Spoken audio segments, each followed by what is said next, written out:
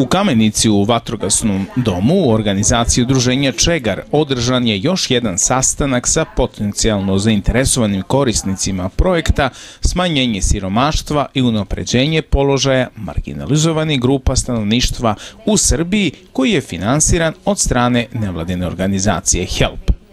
Odziv je bio dobar, kako napominje predsednik udruženja Čegar i kaže da će romskoj, ali i neromskoj populaciji ove informacije biti od velike koristi.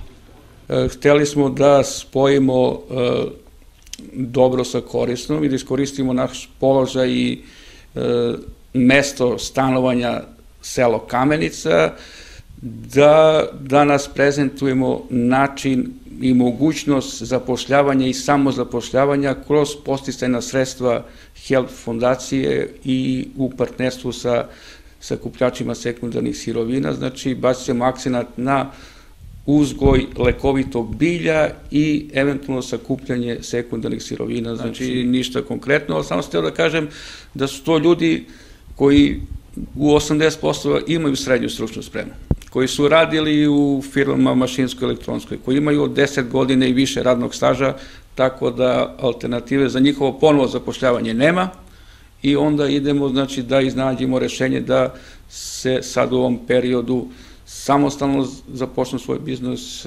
onda da počnu da bi opstali i odhranili svoje porodice. Na ovom skupu je bio prisutan i doktor poljoprivrednih nauka, gospodin Radosav Blagojević, koji je na ovom sastanku prezentovao jedan od načina sticanja dohodka, odnosno kako gajiti lekovito i začinsko bilje.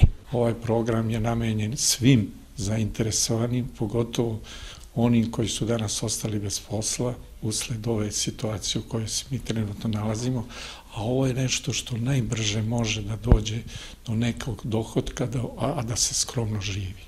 Cilj nam je danas da pružimo informaciju, osnovnu informaciju o proizvodnji leko bilja, a onda drugi jedan projekat, to će biti začinsko bilje, koje pet puta se, je ekonomičnije nego bilo koja druga a, ratarska proizvodnja.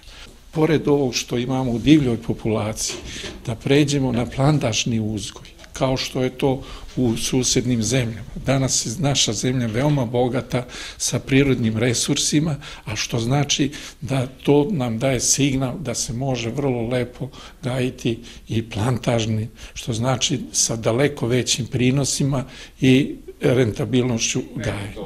Pa vidite, postoje jednogodišnje i višegodišnje lekovite biljke, znate.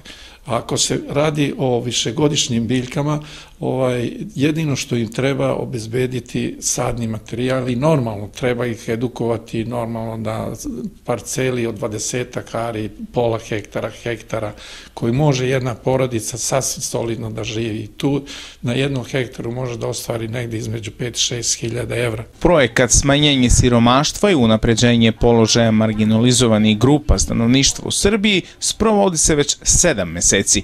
Koji su rezultati do sada postignuti, govori nam Stanislava Kuliđan. Održano je nekoliko radionica koje su namenjene e, pružanju podrške i motivisanju nezaposlenih lica, da pronađu način kojim će da se zaposle. Pored tih radionica završena je prva faza selekcije, odnosno već smo dobili finalne korisnike koji će biti podržani u okviru ovog projekta. Broj podržanih za 2013. godinu u Nišu u okviru ovog projekta jeste 26, od toga je 13 Roma, a od tog broja 11 je konkurisalo za opremu za zakupljanje sekundarnih sirovina. Zainteresovanost romske populacije u okviru ovog projekta je zaista dosta velika, zahvaljujući partnerima sa kojima sarađujemo na projektu i ljudi hoće da rade, znači ostaje samo da prate redovno cikluse koji će biti e, namenjeni konkurisanju, e, pošto projekat ide od 2013. do 2016. pa će jednom godišnje, početkom svake godine, da se objavljuje konkurs kako bi zainteresovani koji nisu stigli u prethodnom krugu mogli da se prijave. Inače, u okviru ovog projekta, znači, biće podržano ukupno 83 41 sa grantovima, odnosno opremom vrednosti 2400 evra i 42 grantovima, odnosno opremom vrednosti 1200 evra. Tako da za sada smo zadovoljni zainteresovanošću romske populacije da sebi obezbedi redovan izvor prihoda. Ovaj projekat će biti završen 2016. godine.